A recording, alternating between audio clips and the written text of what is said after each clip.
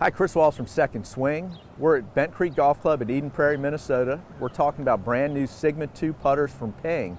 We did an earlier video where we got into some of the technology, but right now we want to talk about specifically the adjustable shaft technology in these putters and how easy it is to take advantage of that feature. There's a small tool that inserts into the top end of the grip.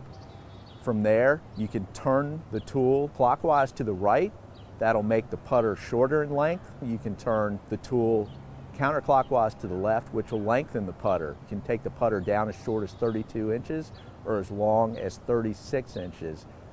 Best of all, you don't have to worry about the grip. The grip will stay perfectly aligned as you make adjustments.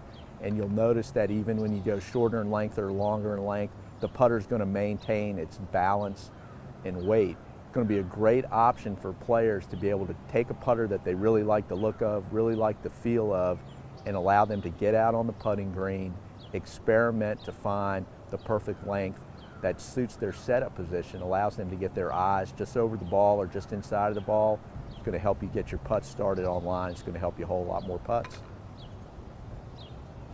Did you get that?